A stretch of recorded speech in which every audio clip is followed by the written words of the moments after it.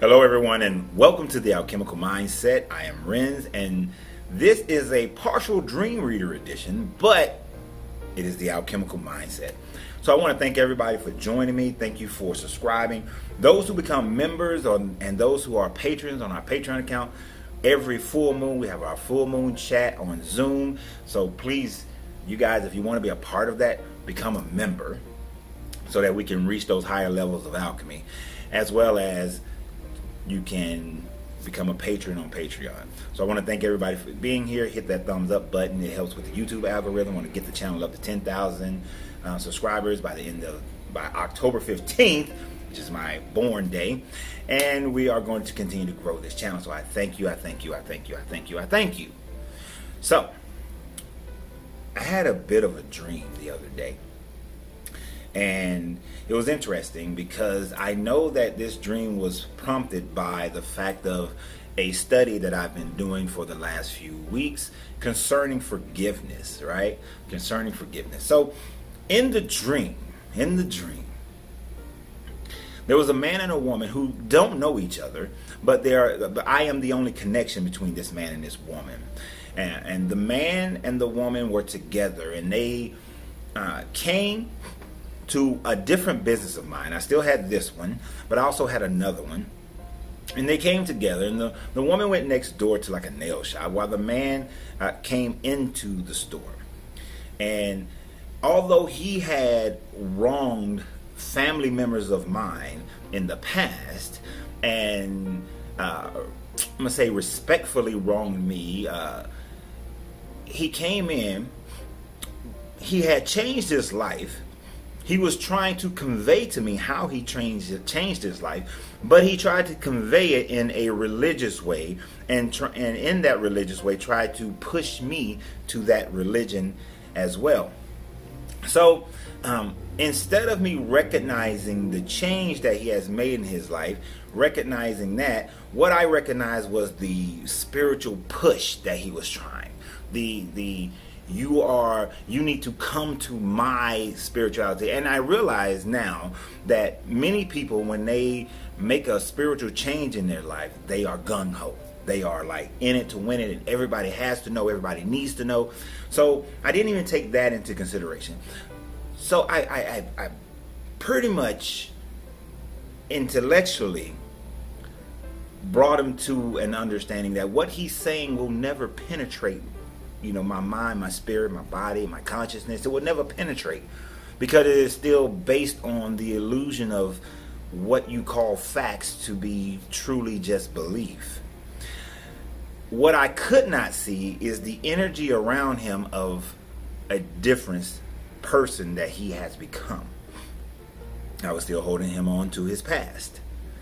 Now, his past was something that is abhorrent Something that, although you may forgive them, it is never something that you will allow them back into your circle.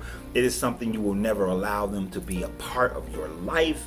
It is something that you will keep them at not a 10 foot pole distance, but a mile, two mile, three mile pole distance. So, but I refuse to forgive.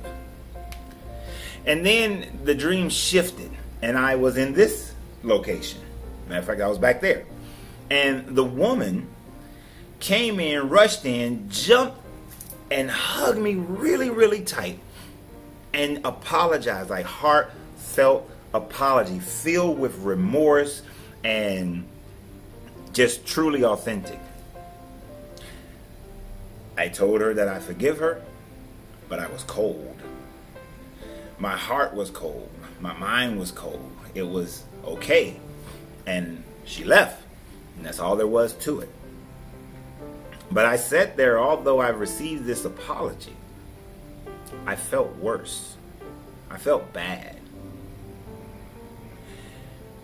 I realized over the last few days, as I contemplated this dream, that the big significance of the dream is the fact that I've been researching, and oftentimes you will find that your dreams are your subconscious mind giving you a deeper understanding of what you are uh, uh, learning, what's coming in, the information you're downloading. I've been recently studying and under, coming to a deeper understanding of forgiveness and the power of forgiveness, the true higher power of forgiveness. You see, there have been studies that have shown that when a person, when you forgive, when you truly forgive, now we all know the idea that forgiveness is for you, but this concept has been taken to an even higher level of understanding. We're finding that when you forgive someone, it actually increases your brain activity. It actually allows you to, to as people were saying for the conjunction, get superpowers when you forgive someone, the level of stress, the cortisol in your body decreases. When you go through a process of true forgiveness, you are able to experience higher emotions. You are able to experience truer love. You are able to experience truer excitement you are able to experience truer fascination, truer um, gratitude. All these things of life that we seek out for become more intensified when you truly forgive someone. So, what does that look like? What is truly forgiving someone? Well, truly forgiving someone is not forgive and forget. It is not. It is well beyond forgive and forget. It is not forgive and protect. It is not the idea that I'm going to forgive you, but I'm going to protect myself from you. Truly forgiving someone includes forgiving and forgetting.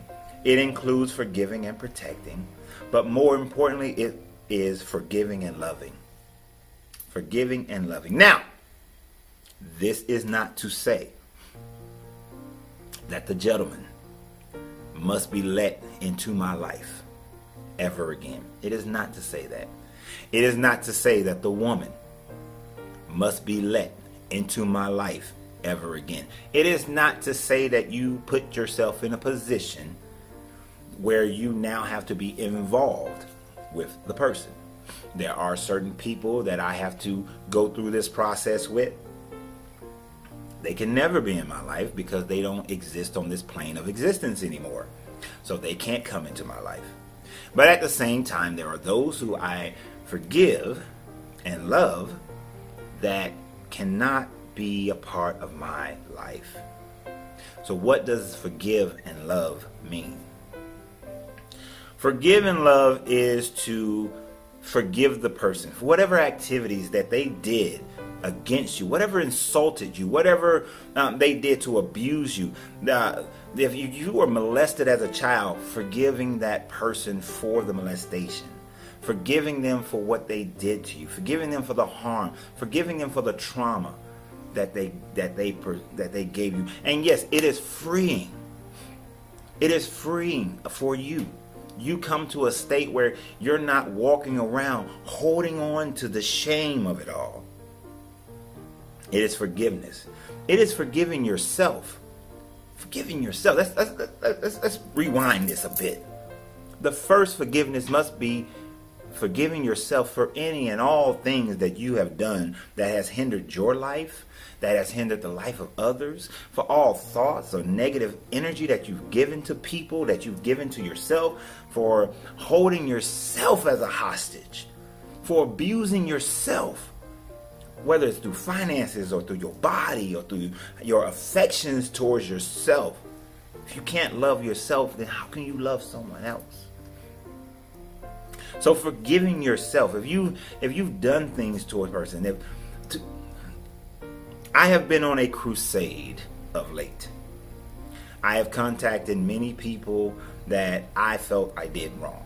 I felt that I had a part to play in uh, making their life not as grand. I've been on this crusade to apologize to them. And although the apology has been well well received, it has given me so much more happiness and joy. But I'm realizing, and what I realize is that not only did I have to forgive myself, I had to ask myself, and this is the next stage of forgiving and love, and it starts with you. Why? Why did I break up with this person when they really didn't deserve it? Why did I blast verbally this person when they really didn't deserve it? Why did I blame this person for I well just admit it, blame this person for a death in my family then they didn't deserve it nor was it their fault. Why? Why did I do those things? And I had to look inside myself to discover why. Why? What were my fears that caused me to leave this person? What was my lack of patience, my lack of understanding? What was my ego? What was whatever it was, my rationale, my reason, my hurt, my pain that I had that caused me to not be what I should have been to these people? What was it uh, about my life, about my decisions that didn't cause me to be a better father to my children? Um, what what was it? Why? Dig into the why. And the more I dug into the why, it made me understand and more acceptable to love me more, to love me deeper than I already do. So when you look at a person that you have to forgive, when I look at this man that came into my business, why did he do the things he did? Why did he personify the behavior that he personified? Why did he disrespect the honor of my family the way he did? Why? What was it? What things? And I and I had to, even though I he, he's not going to tell me, and I'm not going to go and search him out because he's alive today, and I'm not going to go search him out to discover this why. If you can and feel that you should do that, then you go ahead. But I had to think to myself, what insecurities caused him to think that way? What things did I do within the situation that caused for me to maybe step on his toes and feel like he had to bolster himself up uh, and shine, you know, in moments where it wasn't for him to shine, right? What what did I do? And and and but why? What was in his upbringing? What was his family system like? What what abuse uh, traumas that he may have experienced? Why? I had to think of his why not to give him an excuse but so that i have a better and deeper understanding and i can relate so that there is some empathy and empathy and or sympathy that can be included into my understanding so that i can love him as an energetic being that was divinely created. This woman and many others. Why? Why did the young lady when I was 14 decide she just wanted to slap me to see what my responses would be? And when I tried to leave, she kicked the door out of my hand and forced me to push her away, which made me hate myself for a bit why why would she do that? Why would she get into a mindset thinking that that was the right thing to do or that that was some form of love? Why on separate occasions for no apparent reason that I could think of then would a woman cheat on? What was the peer peer pressure that caused one woman to cheat on me from her friends? What was the peer pressure? What were the issues surrounding each situation? Why, why, why, why, when I expressed that I was not having children, why do you get involved with me and then a few months later, five months later, start wanting and desiring and pushing to have children when it was expressed in the very beginning? when it was made very readily apparent, when it was surgically done to ensure that it would not happen. Why would you still get involved with me? So that I can forgive the person for taking that time, for taking my time, for getting me emotionally involved, for allowing me to become engrossed in their life. Why? And all, all for it to fail when they knew from the beginning just like I have known from the beginning of some relationship that they were not forever. Why? I dig into the why. When I understand the why, I can sympathize more. I can empathize more. It causes me to love them from afar, but to have a loving heart towards that person, to have good love heart energy. You see, that heart chakra is blocked by your past pains and grief and fear of love. In order to open it, you have to be willing to love. Loving is not always romantic. It can just, love is just love. Right? It's just love. So, when the woman who claps me, she represents all women that I've been, you know, involved with either romantically or friends wise or any of all things. Like one of my friends, former friends rather, just separated herself from our friendship. And I said, why, why, why? I understand the situation she went through. She was embarrassed.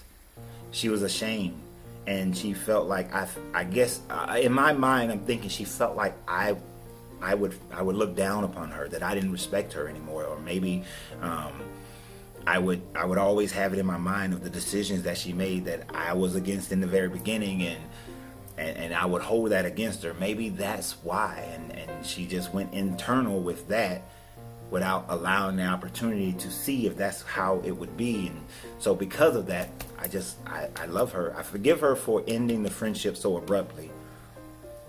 And I love her for being, you know, for who she is, that she's a great person.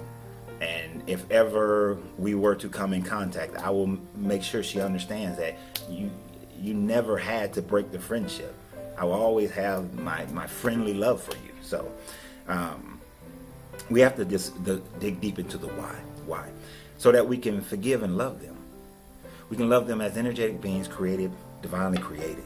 We don't have to be in contact with them. We don't have to befriend them again. We don't have to join in any level of a relationship with these people again.